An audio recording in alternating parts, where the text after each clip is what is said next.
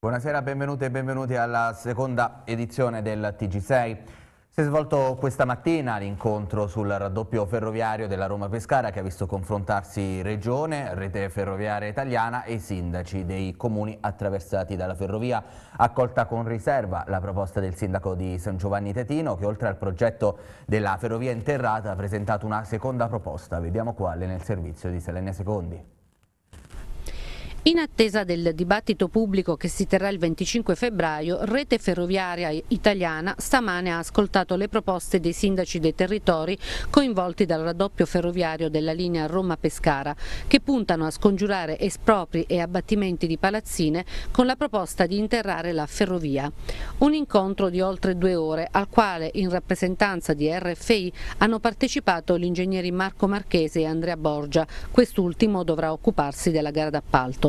Decisiva sarà però la relazione della coordinatrice del dibattito pubblico per le opere condivise Yolanda Romano, presente in rappresentanza del Ministero delle Infrastrutture. Entro 45 giorni dovrà ascoltare le istanze dei territori e redigere un parere da inviare alla conferenza dei servizi. Insistiamo con l'interramento o diamo anche un'altra alternativa. Oggi abbiamo mostrato anche un altro tracciato, anche se per adesso provvisorio, un tracciato che va proprio a spostare sotto la collina tra San Buceto e San Giovanni la linea, la linea ferrata, liberando completamente quello che oggi è un peso che purtroppo ci sta schiacciando e togliendoci veramente questa spina nel, nel cuore che ci sta facendo male. L'equilibrio diciamo, va, va, trovato, è sempre molto complesso, non è un lavoro facile, è quello che cercheremo di fare eh, lavorando tutti insieme. È chiaro che quello che noi abbiamo raccomandato e continuiamo a chiedere a RFI è di valutare e anche predisporre le soluzioni alternative, le varianti, le diverse valutazioni sulle diverse possibilità di tracciato e di intervento in modo che la scelta tra l'una o l'altra delle soluzioni possa avvenire in maniera consapevole, documentata e trasparente e per finire anche in maniera partecipata. Entro giugno poi dovrà concludersi l'iter per non perdere i fondi del PNRR con i quali vengono finanziati due lotti Interporto Manoppello, Interporto Scafa. L'altra linea ferroviaria che riguarda invece Chieti e San Giovanni Teatino dovrà essere finanziata da fondi ministeriali. I problemi ci sono per eh, Chieti, Chietiscalo e eh, San Giovanni Teatino dove eh, la proposizione mia e del sindaco di San Giovanni eh, diciamo, è stata accolta con riserva. A pochi giorni dalla conferenza stampa del presidente della società di trasporto unico abruzzese Gianfranco Giuliante è arrivata la replica dei sindacati. Per le segreterie regionali c'è bisogno di un bando dove tutti possano partecipare senza limiti eh, di età e anche chi ha lavorato già con l'azienda. Ce ne parla Stefano Recanati. Il nuovo piano di assunzione della TUA alla base delle divergenze che in queste ore si stanno verificando tra l'azienda di trasporto unico della nostra regione e i sindacati. Per le segreterie, l'assunzione di 127 operatori da smaltire nelle annualità 2022-2023 sono del tutto legittime da parte dell'azienda, ma c'è bisogno di un nuovo bando per dare a tutti, specialmente a chi ha lavorato in azienda come interinali, di poter migliorare la propria posizione. Questo bando non deve prevedere penalizzazioni in termini retributive e eh, contrattuali contrattuali per questi lavoratori che, già, che si sono già formati nel tempo, questi non hanno bisogno di avere un percorso formativo, quindi è inaccettabile, intollerabile che ci siano penalizzazioni retributive e salariali. È la vostra richiesta per riaprire un confronto proprio con l'azienda? Guardi, la nostra richiesta è da due anni quella di eh, assumere personale, lo abbiamo fatto attraverso quattro scioperi, eh, ci sono oggi mentre parliamo tre vertenze aperte in Lanciano, eh, Pescara e eh, Teramo. Mentre parliamo saltano corse, dal 1 al 31 gennaio sono state soppresse 136 corse per carenza di personale. Se questa è la tua che rispetta gli accordi noi capiamo benissimo il nervosismo di Giuliante, ma i cittadini e i lavoratori aspettano risposte. Il continuo ricorso all'interinale è l'altro nodo da sciogliere. Per i sindacati queste figure vengono utilizzate per coprire turni gravosi.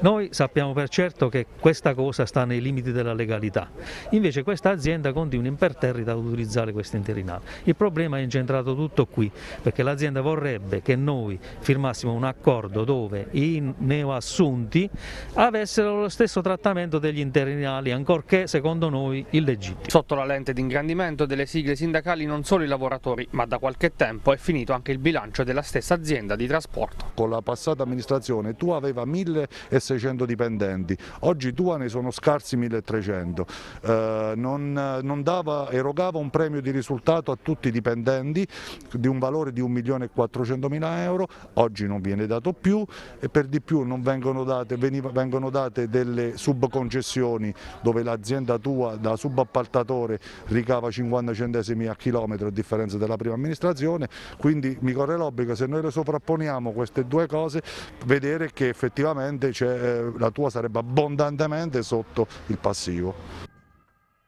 Il bollettino Covid sono 2064 i nuovi casi accertati nelle ultime 24 ore in Abruzzo. Del totale 986 sono stati identificati attraverso test antigenico rapido. Il tasso di positività calcolato sulla somma eh, dei 6.764 tamponi molecolari e dei 15.238 tamponi antigenici è pari al 9,38%. Continuano ad aumentare i ricoveri complessivi, seppure a fronte di una sensibile riduzione di quelli in terapia intensiva. Quattro i decessi recenti, il bilancio delle vittime dall'inizio della pandemia sale a 2.855 e di nuovo record di guariti che nelle ultime ore sono oltre 4.000. I nuovi positivi hanno età compresa tra due mesi e 104 anni, gli attualmente positivi nella nostra regione sono 112.534, 2.172 in meno rispetto a ieri.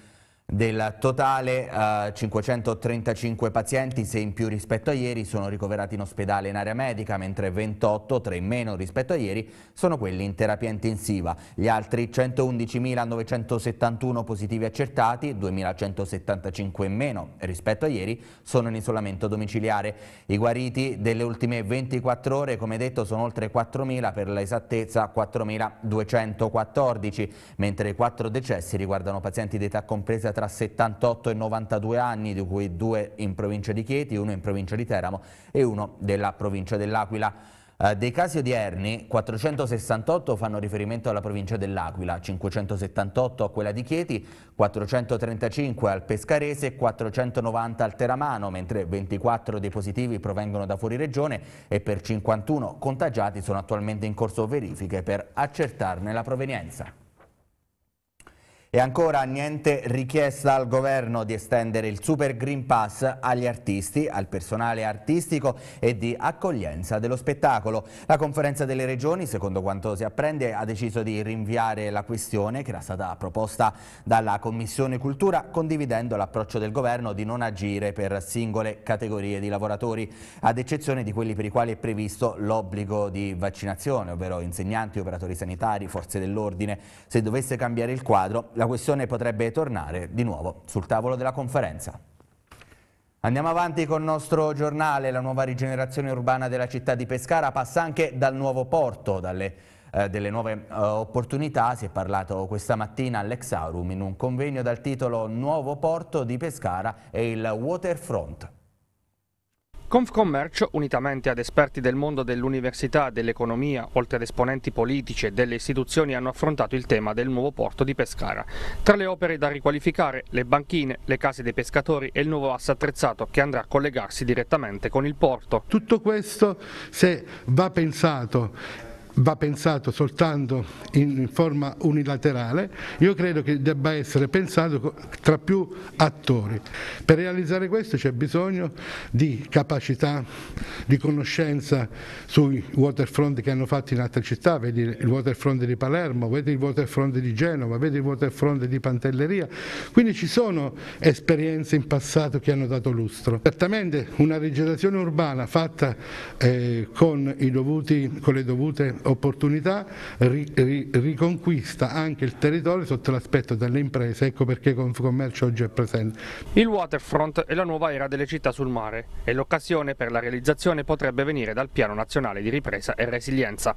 Una volta costruito il porto noi avremo i collegamenti con la Croazia, chiaramente a ridosso del porto ci saranno infrastrutture alberghiere, ricettive, commerciali, tutto. basta che uno arrivi in vacanza, scende davanti a un porto e si rende conto che trova appena si sbarca. Il nostro porto purtroppo da dieci anni, vuoi per il dragaggio, vuoi perché c'è stata poca attenzione, è fermo e sta diventando un ghetto, invece dovrebbe essere un fiore all'occhiello per la città di Pescara. La notizia che vede già pronto il piano per ripristinare i collegamenti con la Croazia a partire dalla prossima estate lascia ben presagire, ma al contempo non si possono chiudere gli occhi a quelle che sono le problematiche dovute all'insabbiamento. Questo è un problema oramai annoso per il nostro fiume e per la nostra città, un porto statale che da troppo tempo è chiuso perché è stato trascurato a livello nazionale, ci siamo rimboccati le maniche per dare un aiuto alla marineria, quindi abbiamo fatto la gara, siamo lì eh, per eh, fare gli interventi, ma sul porto la situazione si chiuderà nel momento in cui finalmente si collegherà il molo nord alla diga foranea, si collegherà il molo sud alla diga foranea in modo da permettere un'uscita diretta del fiume verso il mare Proseguiamo con la cronaca. Faceva parte di una banda, con altri componenti già identificati, che proponevano su noti siti online la vendita di biglietti per assistere a concerti di cantanti famosi che poi una volta pagati questi biglietti non sarebbero mai stati consegnati ai malcapitati clienti. Una donna italiana residente della Marsica è stata arrestata dai carabinieri della stazione di Tagliacozzo con l'accusa di associazione e numerose truffe messe a segno in tutto il territorio nazionale. La donna è stata condannata alla pena definitiva di tre anni e sei mesi di reclusione, è stata rinchiusa nella casa circondariale di Castrogno, Teramo. I fatti si riferiscono a prima del Covid, a far scattare le indagini decine di truffati che hanno sporto denuncia, consentendo ai carabinieri di Tagliacozzo e di altre province italiane di raccogliere indizi di reato a carico della donna arrestata.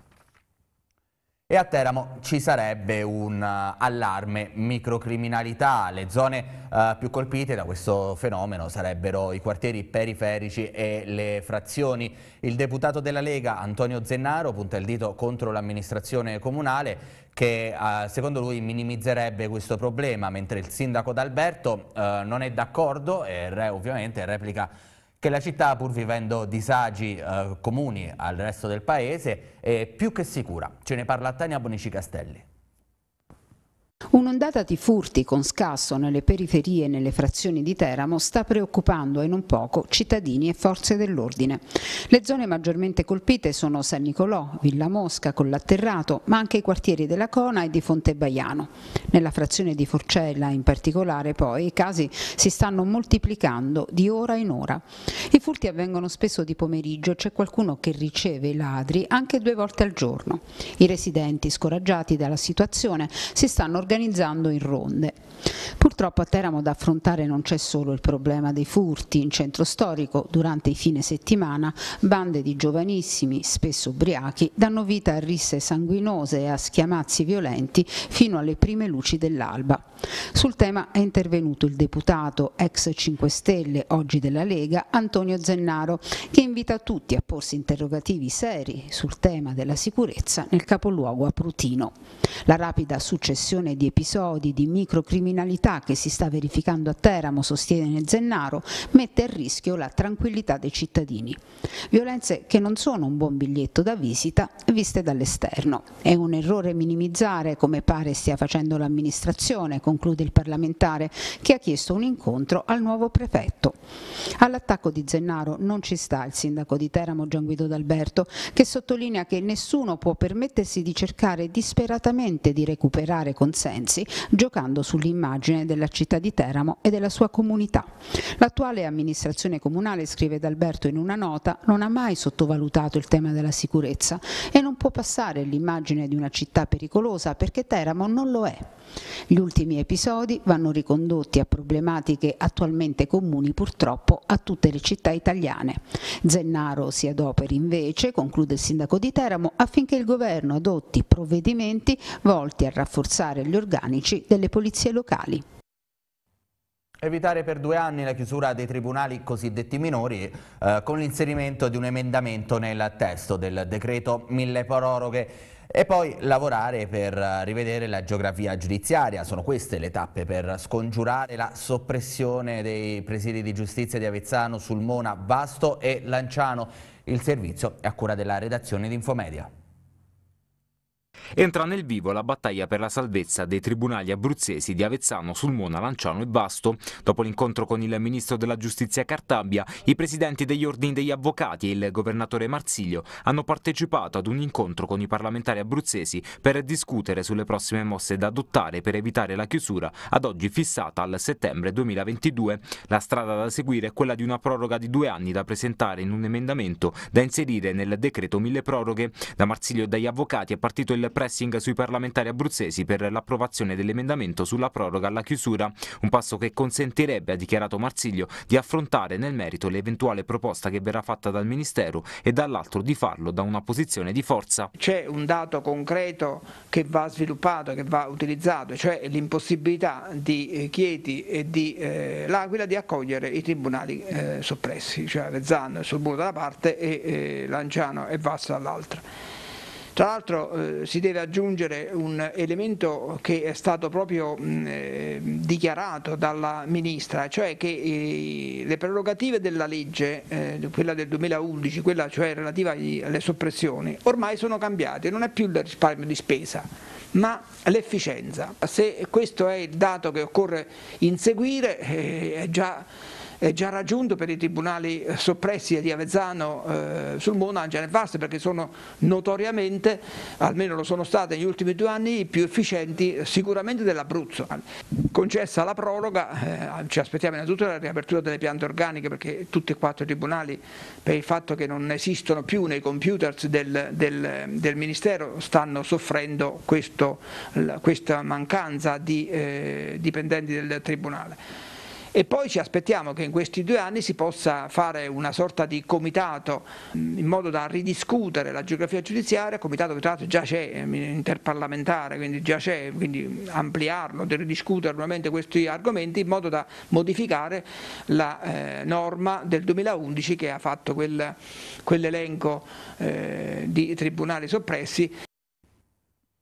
I lavori svolti negli anni precedenti hanno portato la provincia di Teramo ad essere tra le migliori in Italia per quanto riguarda lo spreco d'acqua. L'Aruzzo Reti, nonostante un inverno secco, si dice fiducioso per la prossima estate, anche a seguito di quello che è successo eh, nel 2021 con la terribile crisi idrica. Vediamo il servizio. Non c'è solo l'emergenza Covid a determinare grande preoccupazione per le zone rosse e così anche per le disponibilità idriche negativamente condizionate da un inverno finora avaro di significative precipitazioni. La carenza idrica del 2021 in Abruzzo è un effetto combinato del riscaldamento globale che sta di anno in anno prosciugando i fiumi e della dispersione d'acqua. Si parla del 55,6% riferito al 2018, causata da una rete colabrodo cui non si è provveduto nell'ultimo trentennio. E se le di Chieti e Pescara hanno pagato a caro prezzo, addirittura fino ai primi mesi autunnali, la crisi idrica, decisamente meglio è andato per la provincia di Teramo. Uno studio di Confartigianato l'ha posta tra le 15 migliori province italiane con il 27,3% di perdite idriche tecniche rispetto al 42% della media nazionale. Un risultato possibile grazie agli investimenti mirati che la governance della Ruzzo Reti ha messo in atto negli ultimi anni e che aumenta la fiducia in vista della prossima stagione estiva. Fortunatamente gli investimenti che noi abbiamo fatto sul territorio per, quello, per quanto riguarda quanto riguarda l'acquedotto ci hanno supportato lo scorso anno a gestire una situazione veramente molto pesante, infatti la provincia di Teramo è quella che forse ha sofferto di meno di quelle che hanno diciamo, eh, anche le, alla costa e quindi l'aspetto marittimo per cui il turismo. Quest'anno ci auguriamo di essere sempre allo stesso livello dato che gli investimenti sono aumentati.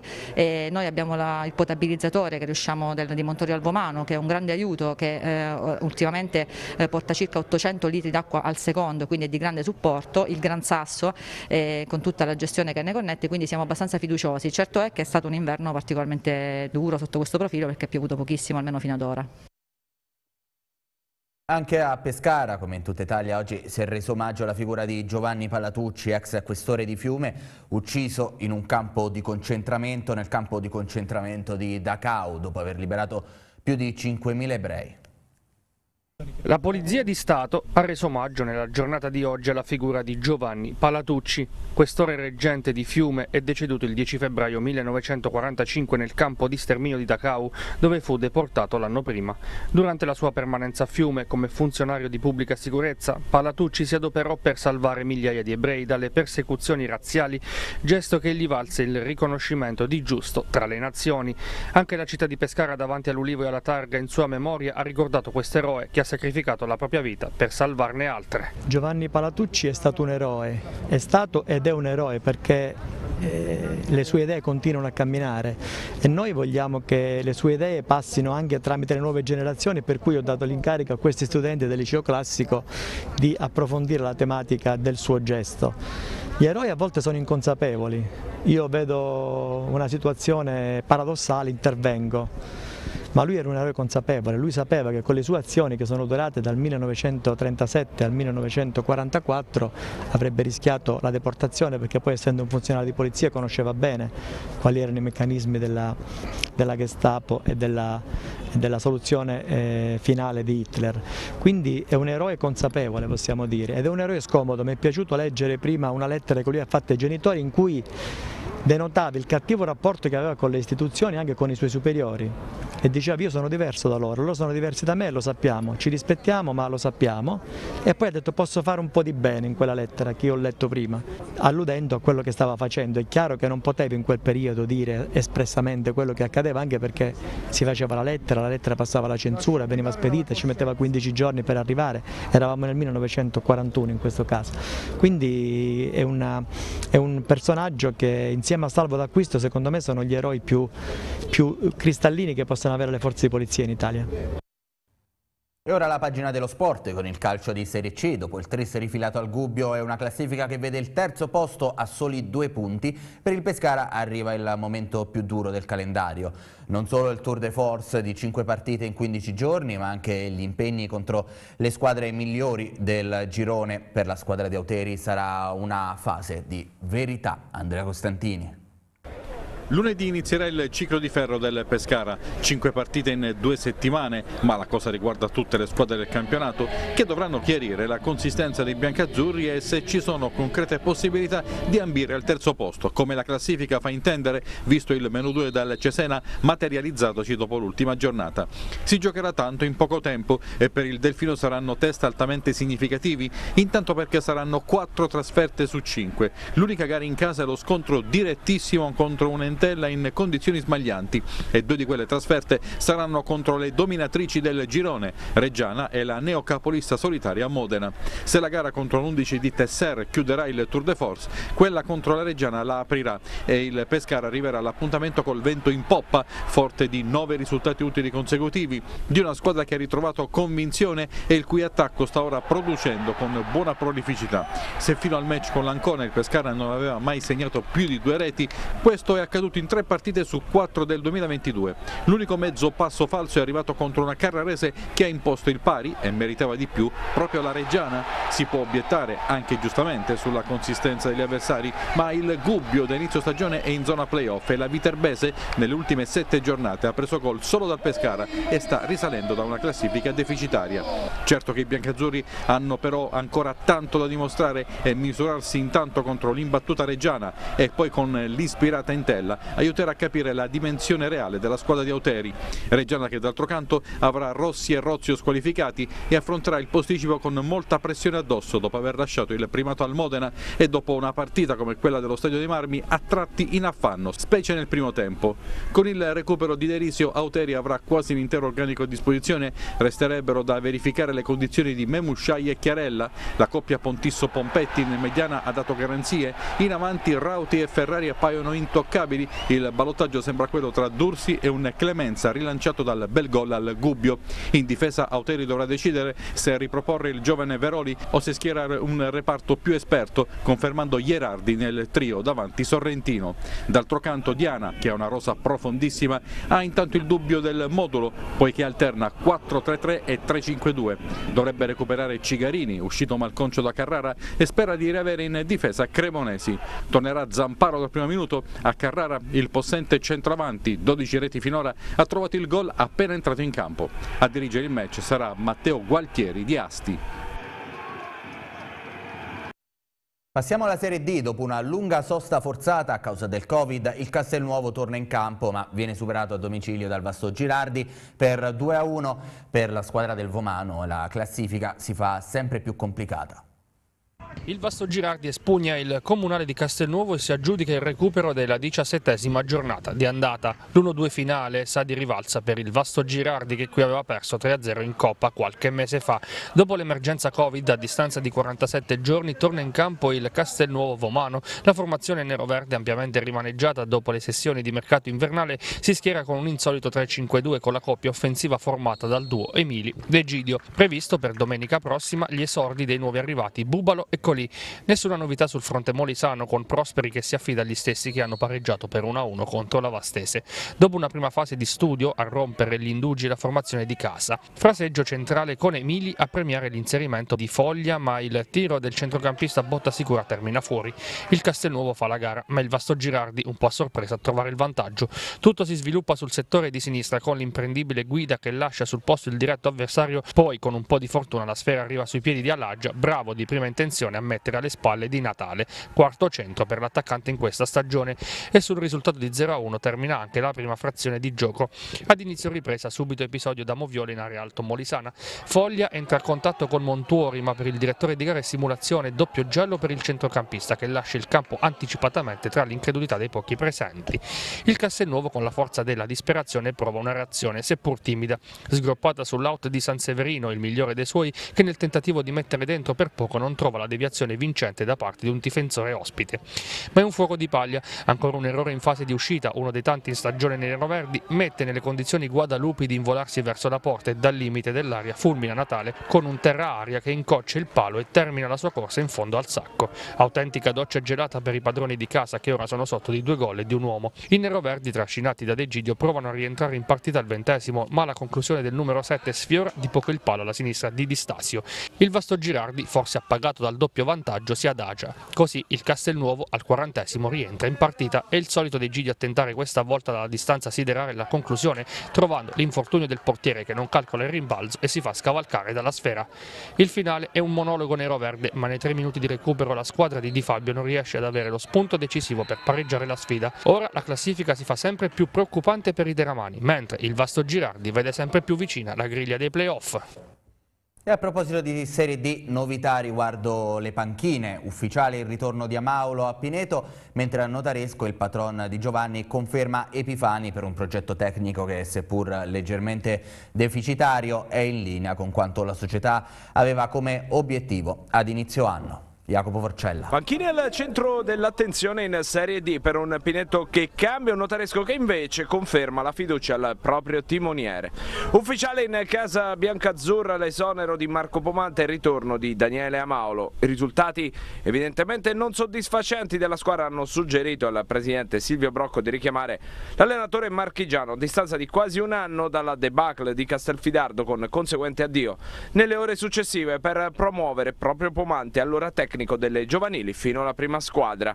Un ritorno al passato che vorrà dire anche parziale trasformazione di un organico già costruito e ristrutturato in corso d'opera e che non avrà Marco Ciarcelluti che saluta e Vallangolana. Chi invece, pur con risultati non eccelsi, sceglie una strada diversa, quella della continuità, il notaresco, con il patron Salvatore Di Giovanni che si dice deluso dai risultati fin qui raggiunti, senza riuscire a spiegarsi il perché di questa involuzione, di queste prestazioni altalenanti. Allo stesso tempo, continua il massimo dirigente, vorrei far notare che comunque sin dall'inizio del campionato stazioniamo tra le prime posizioni. Tutto questo però non inficia la stima e la fiducia, si legge nella nota della società, verso Massimo Epifani, un vero professionista conferma Di Giovanni, grande lavoratore, persona seria e preparata e per me in primis, ma per la società tutta rappresenta una garanzia sotto l'aspetto tecnico e gestionale. L'obiettivo iniziale, conclude, era quello di disputare un campionato di vertice e di lottare fino alla fine per qualcosa di molto importante e ad oggi, anche se con un leggero ritardo, siamo in linea con le aspettative iniziali. Domenica intanto sarà tempo di riscatto per le due formazioni, due sfide interne, Aurora Alto Casertano per il Pineto, Nereto per il Rossoblù, per rimettersi in marcia. In vista di obiettivi che a questo punto saranno confermati solo strada facendo e solo col supporto dei risultati. Non ci sono aggiornamenti, termina qui questa seconda edizione del TG6. Prima di salutarvi vi ricordo l'appuntamento di questa sera alle ore 21 con Pallavolè, la trasmissione di Sergio Zappalorto dedicata al volley abruzzese. Uh, L'informazione invece tornerà come sempre alle ore 23 con l'edizione della notte. Grazie e buona serata.